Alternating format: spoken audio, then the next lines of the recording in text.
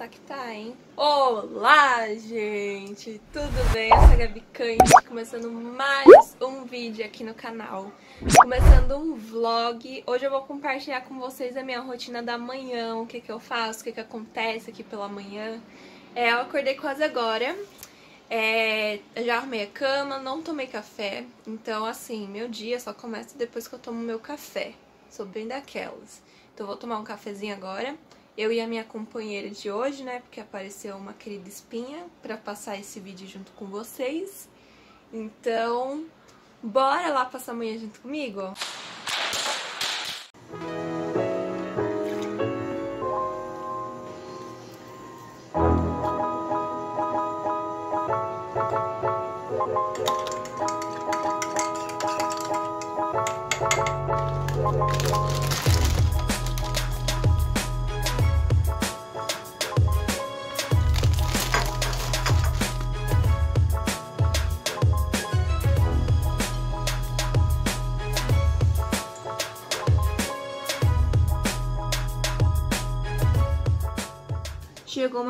Gente. Pegar um pedacinho de chocotone pra comer. Vai chegar nessa época de final do ano, mês de né? Dezembro.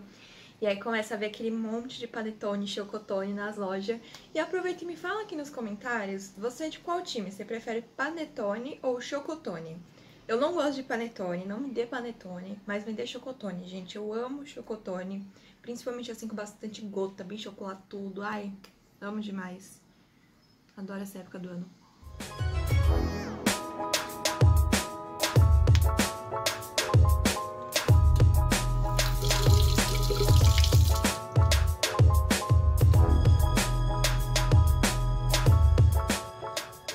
Bom, gente, depois que eu escovei o dente, eu vou começar meus cuidados da, da pele, né? Minha rotina de skincare, uma mini rotina de skincare, né? Então, eu vou começar a lavar meu rosto com o sabonete líquido da Thier, da Sunline. É o de ação anti-oleosidade. Então, bora lavar esse rosto.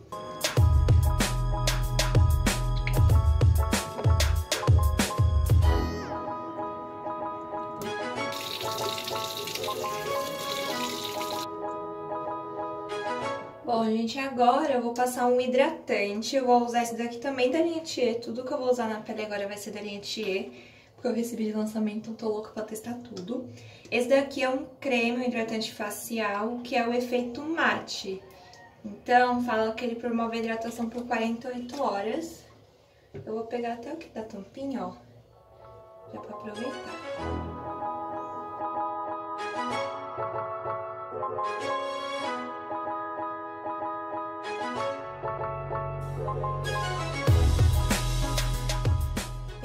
Bastante, eu até passei muito, percebi agora. Já metade disso já daria. Bom, mas enfim, enquanto vai secando aqui, eu vou lá pro quarto já pra ver a roupa que eu vou usar hoje. Então bora lá. Uh, pronto, gente. Coloquei aqui macacãozinho, olha, bem molinho, bem confortável pra ficar em casa. Agora sim, né, pele limpa, já troquei de roupa. Agora eu vou pegar minha agendinha e vou começar a organizar as tarefas que eu tenho que cumprir hoje, é, coisas que eu tenho que entregar, enfim, já vou deixar tudo já anotadinho. E começar aí o dia, eu vou fazer uma make também já já, porque eu vou provavelmente ter que gravar um Reels lá pro Instagram. Então eu já vou fazer uma make, não dá pra ficar com essa espinha aqui ao longo do vídeo todo, né? Então eu vou fazer uma make e bora!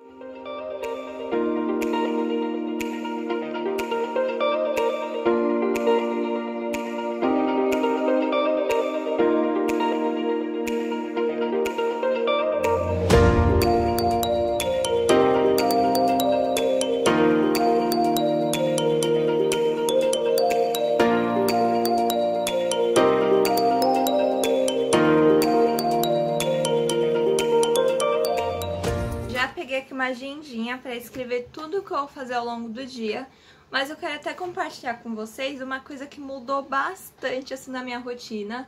Antes eu sempre me organizei por agenda mesmo, por papelzinho, só que agora eu confesso que eu tô usando bem mais o celular para organizar minha semana do que a própria agenda. Eu acho que tá dando certo pra mim por enquanto, tá fazendo sentido, então é isso que eu tô fazendo. E com relação ao canal, às redes sociais, eu continuo usando papel. Eu imprimo assim o, as folhas de calendário e aí aqui eu vou marcando tudo o que vai acontecer ao longo do mês. No caso aqui, dezembro já tá todo anotado. Não vou mostrar pra vocês, porque senão vai ser muito spoiler, né? Mas aí eu já anoto tudo aqui pra eu conseguir visualizar os dias da semana. E no celular eu só vou colocando, tipo, segunda-feira, tem que fazer isso e isso, terça, isso e isso. Aí depois eu só vou ticando lá pelo próprio aplicativo. Tem dado muito certo, tem, assim, otimizado bastante meu, meu tempo, né, ao longo da minha rotina na semana. E é, fica essa dica, acho que você tem que achar um meio de se organizar que faça sentido para você, que dê certo na sua rotina. É, por muito tempo eu usei agenda, continuo gostando de agenda, mas nos últimos tempos tem me ajudado mais a questão do próprio celular. Daquela coisa assim de ficar em mãos mesmo. Mas não sei, pode ser que daqui a um tempo apareça e fale que voltei a usar agenda, né? Estou aqui agora para fazer a make. Fiz um coque aqui bem alto para tentar evitar o máximo aqui de cabelo cair no rosto. Eu vou começar a fazer a maquiagem passando o sérum. Esse aqui é um sérum facial anti-acne da Thier, também da Online. Eu recebi vários sérums assim da, da Salon e como eu tô com espinha aqui, então eu tô começando a testar esse daqui da anti-acne. Não consigo falar pra vocês ainda se é bom ou não, porque faz uns dois dias só que eu comecei a usar. Então, com o tempo, eu... Deixa eu ficar inteiro, né? Com o tempo, se ele ficar inteiro, eu venho falar pra vocês o que é que eu achei, se ele é bom... Enfim, conto pra vocês. No vídeo do Arrume-se Comigo, eu testei aquele que é pra diminuir e disfarçar os poros, né? Aí também eu usei assim na maquiagem, ficou bem bonita, durou bastante a minha make. Mas eu não continuei usando ele. Tipo, não sei porquê, só não, só não comecei a usar por preguiça mesmo, sabe? Mas agora eu tô tentando me regrar e quero ficar usando esses sérums por um período maior pra conseguir realmente testar se é bom, se não é, e poder contar pra vocês se eu realmente achei que vale a pena. Agora eu vou passar a base, eu continuo usando essa base líquida, eu comprei uma outra base lá na Beauty Fair, tem até os vídeos aqui no canal, depois você pode fazer um gameplay e maratonar aqui os vídeos do canal, porque tem bastante conteúdo lá da Beauty Fair. E lá eu comprei uma base, mas ainda não testei a minha cor. Eu não tô afim de ver que não é a minha cor agora no meio do vídeo e ter que tirar tudo. Então eu vou usar essa daqui mesmo.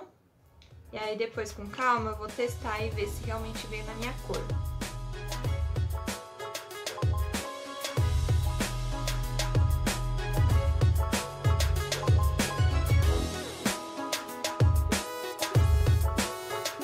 Depois eu gosto sempre de vir com a Beauty Blender e dando batidinhas para tirar a marquinha do pincel.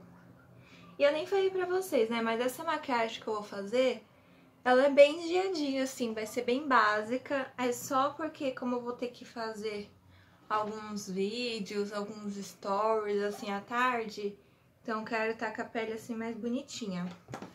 E é isso. Aí agora eu vou passar o corretivo líquido da Fios. Esse daqui é o Mel 30. E é novinho também, comprei lá na Beauty Fair. Não testei ainda a minha cor. Então assim, eu vou torcer pra que seja da minha cor. Que a mulher, a vendedora, falou que provavelmente essa daqui que era a minha cor. Vou tampar esse espinho aqui que ela tá me incomodando. Aí eu também venho aqui com um pincelzinho. Dando batidinhas. Eu acho que deu certo aqui a cor. Meu medo é que não ficasse da minha cor, que eu ficasse meio acinzentada, mas parece que deu certo. Eu sei que pra espinha tem um esquema que o pessoal faz com coloração, tipo, a espinha pra camuflar você tem que passar corretivo verde, uma coisa assim, só que eu não tenho corretivo verde. O único corretivo que eu tô tendo agora é esse daqui, que é o novo, então a gente se vira com o que tem, né? Aí aqui, enquanto tudo aqui na pele tá secando, eu vou fazer um olho. Deixa eu passar um pouquinho de corretivo aqui na pálpebra também. Eu gostava muito de fazer isso com o outro que eu tinha. Que eu sinto que ele pigmenta mais a, a sombra, né, quando você vai passar. Então tá, eu vou com essa paleta aqui, a Feels Mood, que é um Dude Blush, na verdade, mas eu amo usar blush como sombra. É da Ruby Rose. Essa aqui foi a que eu recebi lá na Beauty Fair também, não testei ainda. Ela é bem bonita. Eu vou usar esse rosinha aqui pra passar na pálpebra móvel. Eu acho que vai ficar legal. Gente, olha, é hiper, mega, ultra pigmentado. Vou até aproveitar aqui o pincelzinho pra esse olho. Chocada! Gente, é muito, muito, muito, muito pigmentado mesmo, real. Olha isso. Eu tinha provado assim ele na mão, no stand da Ruby Rose, mas eu não tinha percebido que era tão assim, não. É bonito demais. Tipo, é pigmentado, mas é lindo, a gente gosta assim, né? Gente, eu vou tentar espalhar aqui que foi demais. Produto pigmentado assim é bom que rende bastante também, né? Porque até você terminar de usar o bichinho, um pouquinho que você passa, ele já dá por mil passadas. Mas eu tô meio na dúvida desse corretivo aqui, viu? Eu não sei se eu gostei dele. Na dúvida. Eu acho que o olho vai ficar mais rosão, assim, não vou fazer nada demais nele. Eu vou passar só o iluminador Faces da Lua que você sabe que eu amo esse iluminador demais, demais, demais. Então um pouquinho aqui no cantinho interno do olho. Abaixo aqui da sobrancelha. Um pouquinho aqui. Um pouquinho aqui. O que, que a gente vai fazer ainda nesse olho? Eu vou passar a máscara de cílios, essa daqui que eu ganhei da Vult, que é a 5 Up então, fala que dá volume, alonga, curva, separa e define. Veio na maleta que eu ganhei da Vult. Mostrei pra vocês lá nos stories do Instagram. Então, se você não me acompanha, passa por lá, porque vocês conseguem ver tudo em primeira mão. Ó, o aplicador dela é curvadinho.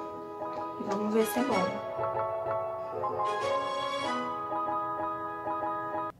Considerando que eu dei uma leve borradinha aqui, ó. Mas olha, já dá uma diferença de um olho pro outro, ó. Dá uma alongada mesmo. Gostei. Outra coisa que eu adquiri na Beauty Fair é o pó translúcido, gente. Vocês, vocês que acompanham assim mesmo os vídeos de make que eu faço aqui na minha rotina, eu usava aquele pó de selfie, o pó compacto. E agora eu resolvi usar um pó translúcido. Esse daqui é da Mahave. Nunca usei pó translúcido na minha vida, podem me julgar, porque é verdade. Então, Vamos ver aqui se o trem é bom. Tá fechadinho. Vou mostrar pra vocês a cagada que eu acabei de fazer.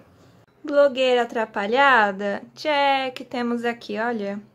Até na roupa eu deixei cair. Aff, Maria. Bom é que pó não mancha a roupa, né? Porque se tudo isso daqui fosse base caindo na roupa ia ser uma tragédia. Mas enfim. Vou pegar aqui o pozinho e passar. Esse daqui eu peguei o nude. Lá tinha rosado, tinha várias tonalidades, eu quis pegar o nude. Bom, aparentemente eu gostei. Gostei. E agora eu vou fazer um leve contorno com o pó cenoura da Zef. Não vou nem entrar muito em detalhes, porque todo vídeo meio que eu falo dele, né? Acho que quando o negócio é bom a gente tem que falar, tem que recomendar. Então eu gosto muito de usar ele pra fazer contorninho assim, acho que fica bem bonito.